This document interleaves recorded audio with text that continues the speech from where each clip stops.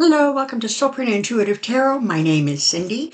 Thank you very, very much for being here. So, um, the dust may be starting quietly to settle after um, a couple of bombs that went off. So, you've got Trump um, with a gag order because he really upset that judge in New York. And you know what? This is what I don't understand. Is he not smart enough to understand that this is the judge, one, who has already found him guilty of fraud? And two, this is the very same judge that is going to assess and determine the monetary penalties. Yeah, that's the guy to piss off. Absolutely. You go after him, you go after his staff. It's not a problem. It's not going to affect your case at all. Um, so there's that. And Matt Gaetz got rid of Kevin McCarthy. You know, you don't like to see somebody booted by a, a core group of, of lunatics, of crazy people. But on the other hand, he set up his own demise, right? He gave them everything plus that they wanted. And wow, what a surprise that as soon as he doesn't completely conform to their like kind of nutty agenda, um, that they boot him. I mean, he did it to himself. And, you know, apparently one of the things that was being said over and over again on both sides of the aisle was you can't trust him. You just can't trust him. I mean, the Democrats joined um, the Republicans to bail him out in making sure the government didn't get shut down. And then he goes on TV and he's complaining because the Dems, the, the whole shutdown thing would have been the Dems' problem because they weren't just like, excuse me. Also, he did the same thing after he was sort of removed from court. It was that same thing. It's like, well, the Dems should have helped me. Well, why should the Dems have helped you? You just spent, um, you know, the last 48 hours insulting them. Craziness. This is what you call watch out for karma's bite. And I think both of those two are feeling it. I want to focus in on what's going to happen with the House Republicans um, for today's mini. Um, so I just want to, there's a couple of things. One, there has been sort of some low grade anxiety, panic kind of swirling around um, with regards to Trump being um, named Speaker of the House. Apparently, it's legal. He doesn't have to have a government position, um, and they could bring him back. He's not going to get the votes. Okay. And because I think going in, he's going to figure out he's not going to get the votes. Um, he can strong arm a lot of Republicans, but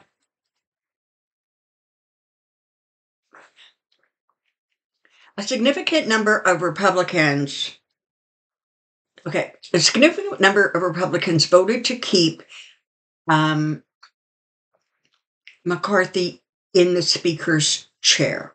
It was only like nine or something that got rid of him, but when coupled with the votes of the Dems, that's what did it. So the thing is, is if they try to bring in Trump, I'm being told it's simply not going to happen, but if they try, there apparently are like nine or 10 Republican House representatives who um, are sitting in Trump won districts, and Trump won them by significant margin. Interestingly, the ones who voted to get rid of him um, on the Republican side, those people, if you look at the stats, they apparently are sitting in very comfortably Republican Republican districts.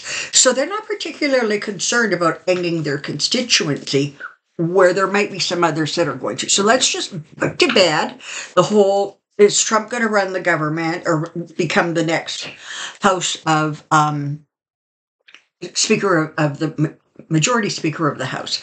Just cut the deck. Look at what we've got. We've got justice on one side and death on the other.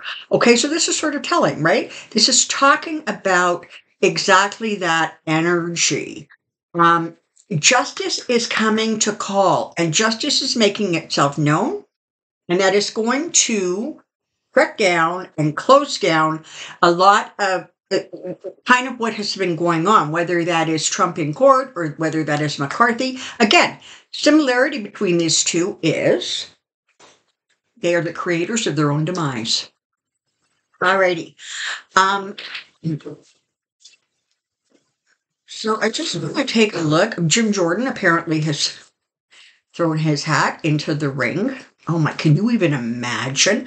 I do not believe that there is going to be a sort of a really right leaning uh, Speaker of the House. I think who's going to get voted in is going to be a little bit more moderate because you've got a lot of Republicans who are sick and tired of the crazy. Um, and I, I, just got a quick interview of, of one of the Republicans saying that they need to change the rule so that one person does not have the power to just oust somebody or to call for the you know removal. Um, I think the word he said was uh, the House shouldn't be run by a small group of lunatics. Quite succinct. Here we go.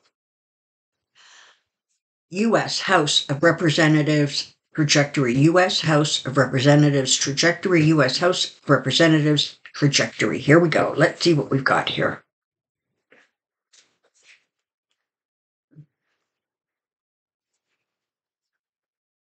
The nine, sorry, the eight of swords. Okay. That's where you're starting.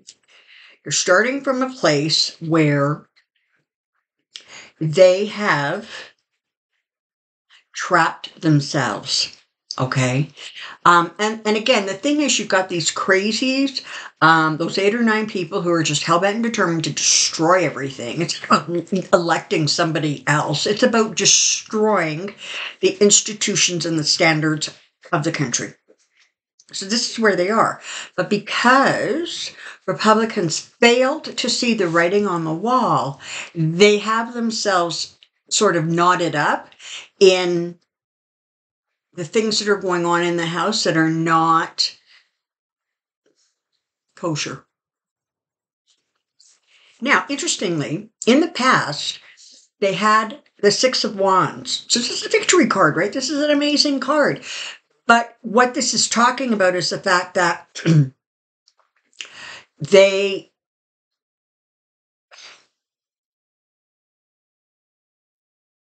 had they left well enough alone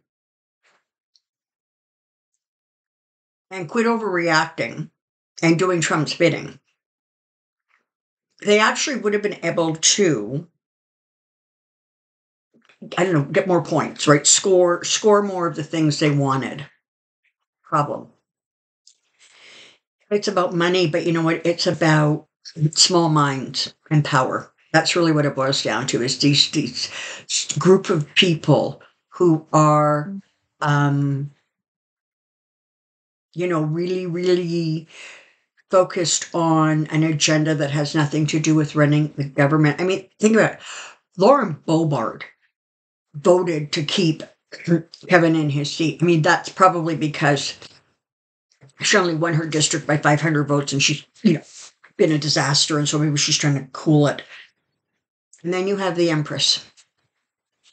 So this is the thing.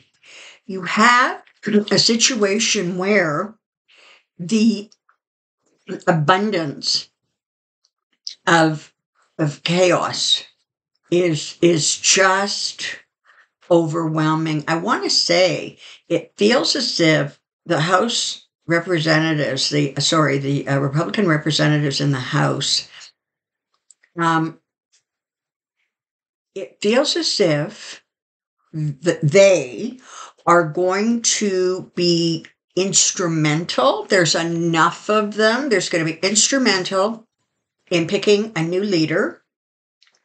And this leader is going to be on firmer ground than his predecessors. Okay. So this actually looks like they're going to veer away from the crazy and kind of into at least something that kind of vaguely resembles normal. That's what I'm being told right now. Um, and that's going to actually um, I think, you know, work out.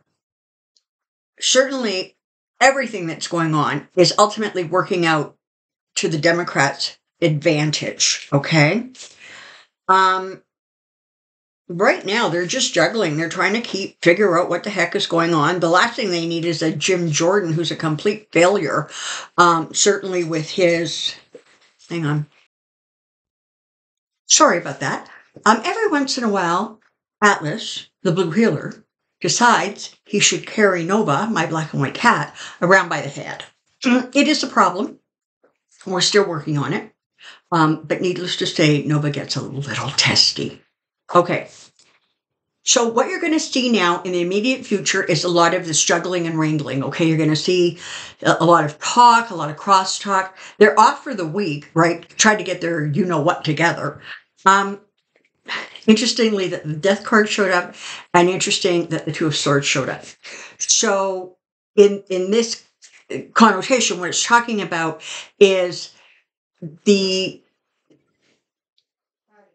the extreme wing looks like they're going to have to cool it a little bit. Now, whether they do or not is a different matter because, of course, we all know that they are doing Trump's bidding. But it looks like um, they are losing. Frankly, they're losing their power. I mean, even other Republicans are embarrassed. They're like, my God, this is not how we're supposed to be behaving. This is not what we're supposed to be doing.